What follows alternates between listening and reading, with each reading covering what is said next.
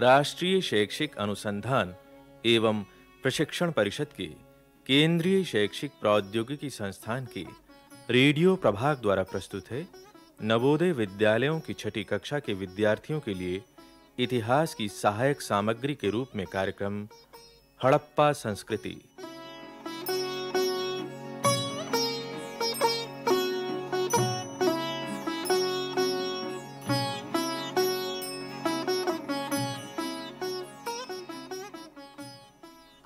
कोई चार हज़ार साल पहले हमारे देश के पश्चिमी हिस्से में कुछ बड़े-बड़े नगर बसे हुए थे। इन्हीं में से एक प्रमुख नगर था मोइन जोदड़ो मोइन जोदड़ो यानी मुर्दों का टीला।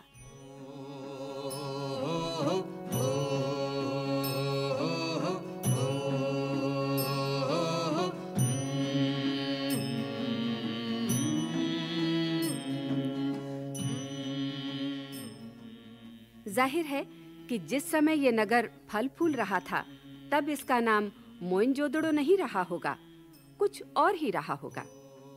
पर यहाँ की चौड़ी सड़कें, विशाल अन्न भंडार और सरोवर ऐसे ही रहे होंगे। यहाँ के रहने वालों का व्यापार दूर विदेशों तक फैला था।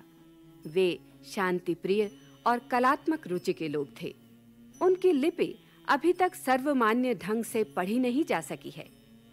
लेकिन उनके अनेक नगरों की विस्तृत खुदाई की गई है, जिससे वहाँ के जनजीवन पर काफ़ी प्रकाश पड़ता है। उसी आधार पर प्रस्तुत है एक काल्पनिक कथा।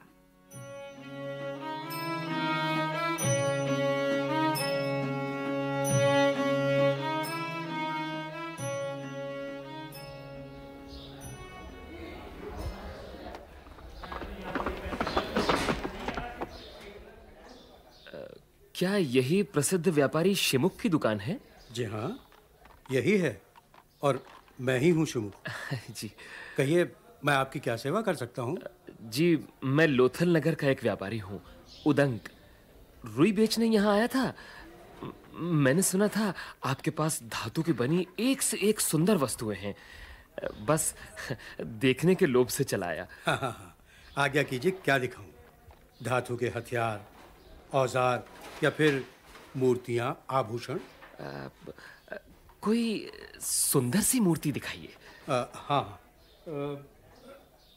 हाँ ये देखिए। कांसे की बनी हुई नर्तकी। कमर पर हाथ रखे ऐसे खड़ी है मानो नाचते नाचते पल भर के लिए रुक गई हो। हाँ अच्छी तो है। मगर अच्छा इसे छोड़िए। ये हार देखिए। अभी दो दिन पहले ही बनकर तैयार हुआ है।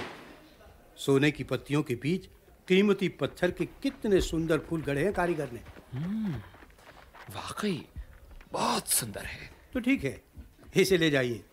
मैं दावे के साथ कह सकता हूँ कि यहाँ से दिलमन तक ऐसा सुंदर हार किसी और व्यापारी के पास नहीं होगा। वो तो ठीक है पर ये तो काफ़ी महँगा होगा। दरअसल मैंने अपनी रुई बेचकर उसके बदले आपके नगर से अनाज खरीद लिया है। अब मेरे पास इस हार को खरीदने लायक रकम नहीं है। तो क्या हुआ? आप तो इधर आते रहते होंगे। जी हाँ। तो फिर आप ये हार ले जाइए। इसकी कीमत अगली बार दे दीजिएगा। मगर अब इसमें अगर मगर की क्या बात है? आपके पास आपकी मोहर तो होगी ही। जी हाँ वो तो मैं हमेशा अपने कमरबंद में रखता हूँ। तो फिर ठीक है अपने इस सौदे की बाबत मिट्टी की पार्टी पर लिखवा कर अपनी अपनी मोहर लगा देते हैं। जब आप अगली बार यहाँ आएँ तो रकम चुका दीजिएगा। ठीक है मुझे मंजूर है। शुभपन अरे ओ शुभपन। आया माले। जी माले। देखो शुभपन ये लोथल नगर के बड़े व्यापारी हैं उदंग। इन्होंने ये सोने का हार खरीदा है पर इसकी कीमत ये अगली बार देंगे।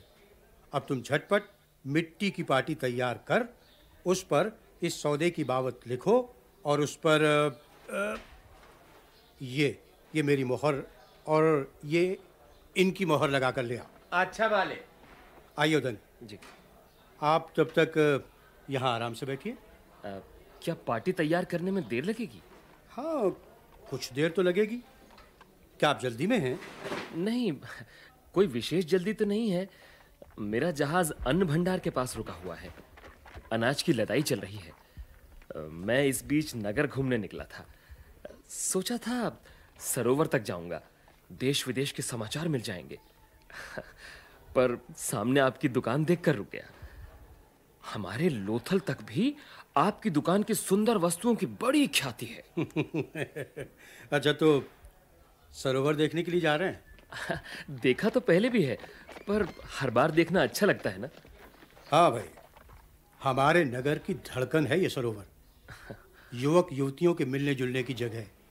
आज पूरे चंद्रमा की रात है विशेष पर्व है। आज तो वहाँ न जाने कितने विवाह तय होंगे। कितने व्यापारिक सौदे तय होंगे। मेरी पत्नी और बेटी भी वहीं गई हुई हैं। जी। चलिए मैं भी आपके साथ चलता हूँ। हाँ चलिए।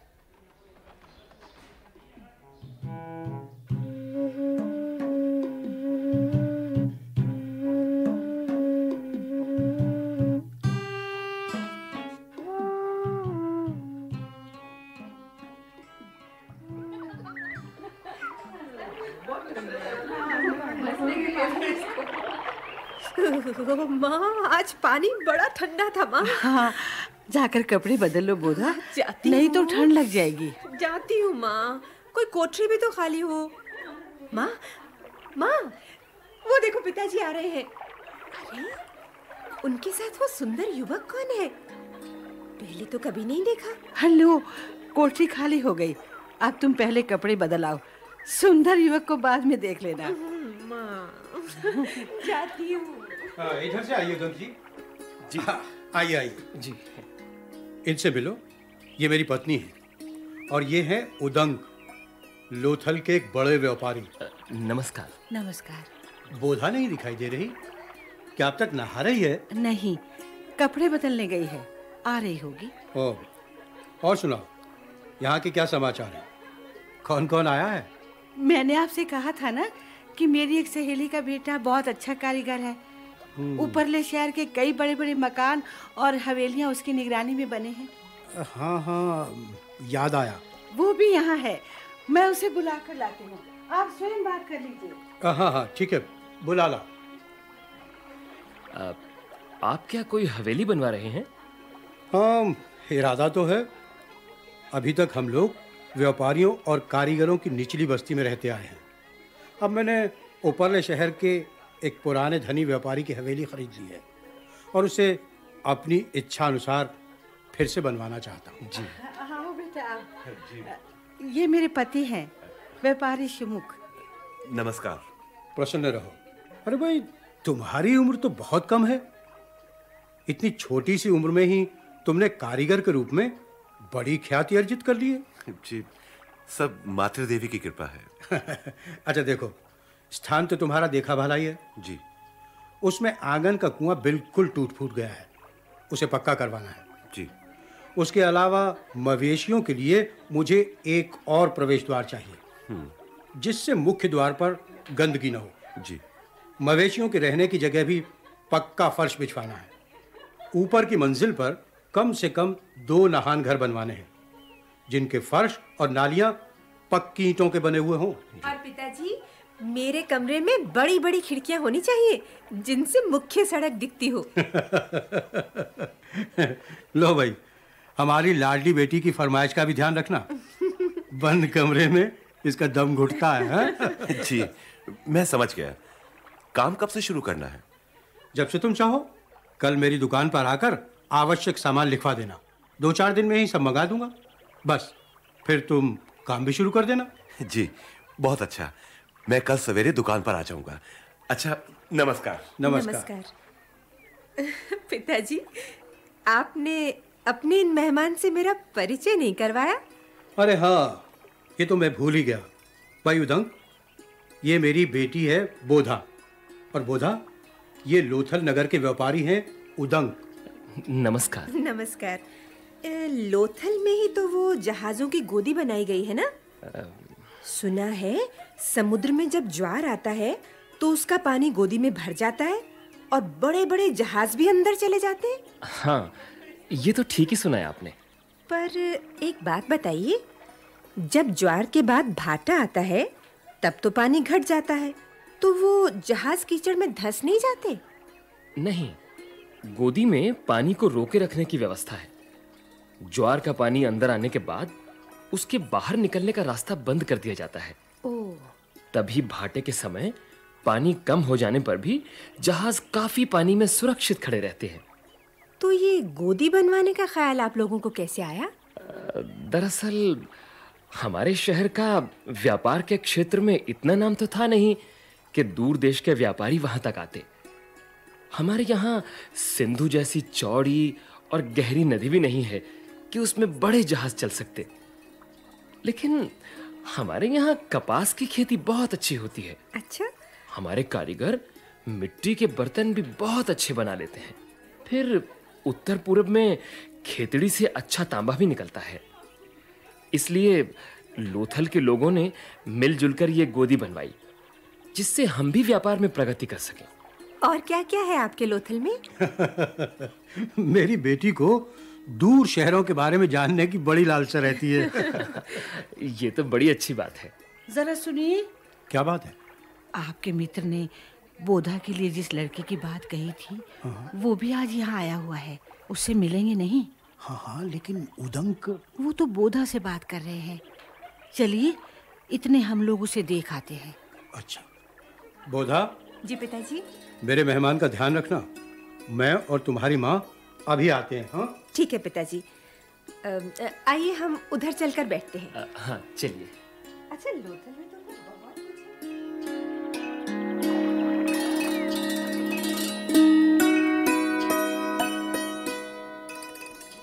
साफ़ सुथरा रखते हैं।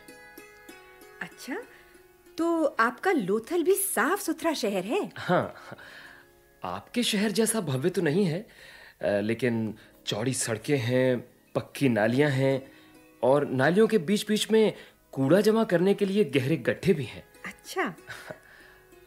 इस मामले में दिलमन बिल्कुल उल्टा है। क्या? आप दिलमन भी गए हैं? हाँ व्यापार के सिलसिले में गया था। वहाँ के लोग सफ़ाई का जरा भी ध्यान नहीं रखते। काश मैं भी दूर दूर देशों की यात्रा कर सकती। व्यापार के तौर तरीके सीख सकती। लेकिन माँ कहती है ये सब तेरे काम नहीं है। क्यों? अगर आपकी व्यापार में रुचि है तो इसमें बुराई क्या है?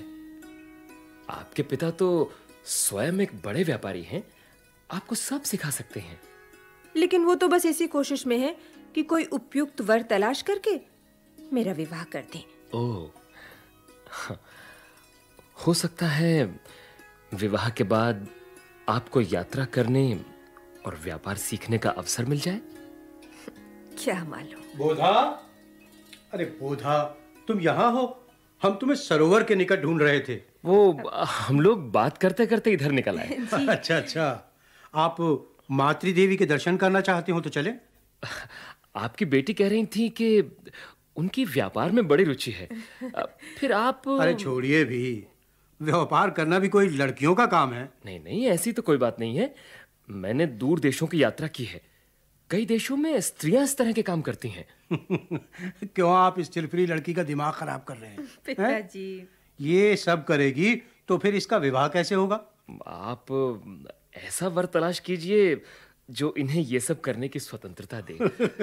फिर तो हो चुका विवाह। अरे ऐसा वर कहाँ मिलेगा? अब अब ये इतना कठिन भी नहीं है। देखिए मुझे ही लीजिए। हाँ? मैं बहुत दिनों से ऐसी पत्नी की तलाश में हूँ। जो अपने गहनों कपड़ों के अलावा भी कुछ सोचती समझती हो।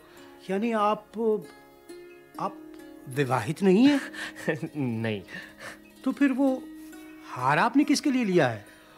वो अ, अपनी भावी पत्नी के लिए। ओ अच्छा अच्छा। जी। यदि आपको आपत्ति ना हो तो तो मैं आपकी बेटी से आप ये निर्णय कुछ जल्दी में नहीं ले रहे हैं? जी नहीं। जल्दी नहीं करूँगा तो शायद देर हो जाएगी। क्यों बेटी? तुम्हारा क्या विचार है? पिताजी अरे बोधा की माँ इधर सुनो तो। क्या बात है? उदंक लोथल के बड़े व्यापारी हैं और अविवाहित हैं। हाँ हाँ। ये सब आप मुझे बता चुके हैं। ये अपनी बोधा से विवाह करना चाहते हैं। क्या? सच? क्यों बोधा? लगता है बोधा को अपना मनपसंद साथी मिल गया है हाँ? मातृ देवी की कृपा है। चलिए हम सब चलकर उनके दर्शन करें। आओ बोधा चलो माँ। आओ बेटा आइए। अ, चलिए।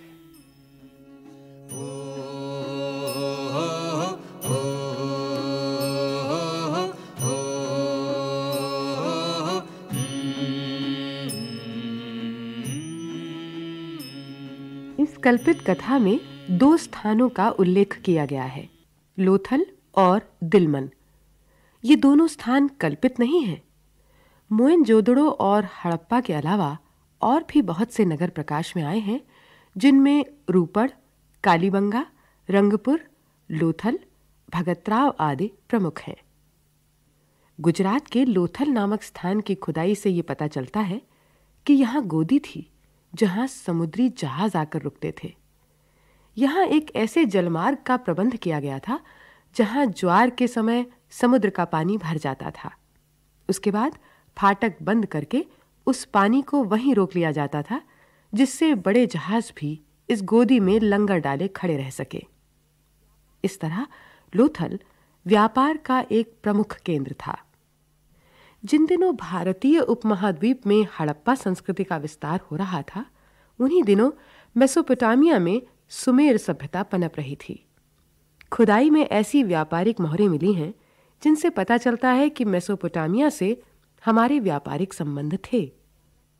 मेसोपोटामिया में एक राजा था जिसकी राजधानी अक्काद थी। वहाँ दिलमन नामक शहर से जहाज़ आया जाया करते थे। दिलमन को आज का बाहरेन माना जाता है।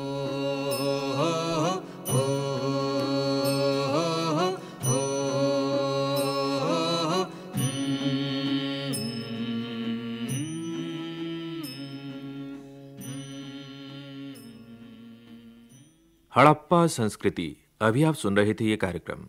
आलेख, डॉक्टर शुभ्रा शर्मा, विषय संयोजन ममता गुप्ता कलाकार नीरज शर्मा जयमिनी कुमार, वीना होरा कमला कुमारी चोपड़ा, अभय भार्गव, सुरेंद्र सेठी और मंजू मैनी, ध्वनियांकन सतीश लाड़े तथा निर्माण एवं प्रस्तुति वंदना निगम।